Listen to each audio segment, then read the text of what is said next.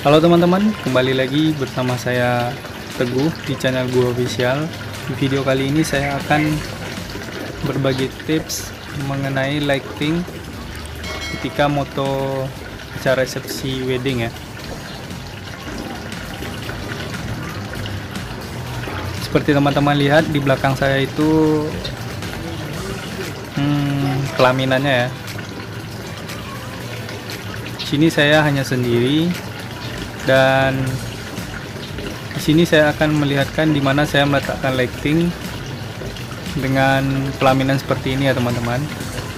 Oke kalau begitu saya lihatkan dulu pelaminannya. Oke di sini saya memakai dua buah lighting mereknya Jinbei 250 watt Oke sebentar saya lihatkan dulu ya. Seperti biasa saya meletakkan di sebelah kiri dan sebelah kanan pelaminan. Nah di sini bisa teman-teman lihat saya memak saya menggunakan power hanya seperempat.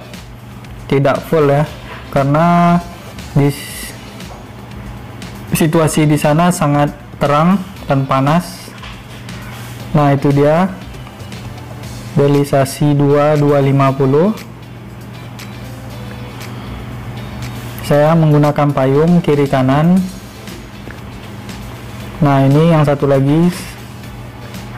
Powernya sama ya. Kenapa saya tidak boncing karena kain-kain dari tenda itu berwarna ungu yang saya takutkan nanti hasil boncengnya bisa mengenai wajah pengantin ya. Nah ini tampak dari situasi pelaminan dan acara resepsi hari itu. Nah seperti teman-teman lihat nah ini dia pelaminannya. Oke teman-teman. Tadi saya melihatkan di mana saya meletakkan lightingnya.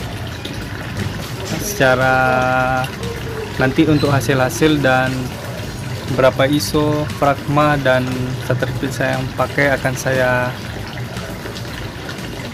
tampilkan ya berserta hasil-hasilnya nanti. Semoga pemotretan hari ini lancar. Dan semoga apa yang saya share kepada teman-teman bermanfaat. Kalau ada pertanyaan yang ingin teman-teman tanyakan bisa tulis di kolom komentar ya. Oke mungkin hanya sampai di sini dulu vlog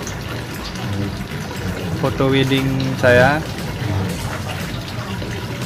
Hmm, next di video selanjutnya saya akan membuat vlog kembali ketika saya moto wedding lagi ya. Oke teman-teman semoga video ini bermanfaat.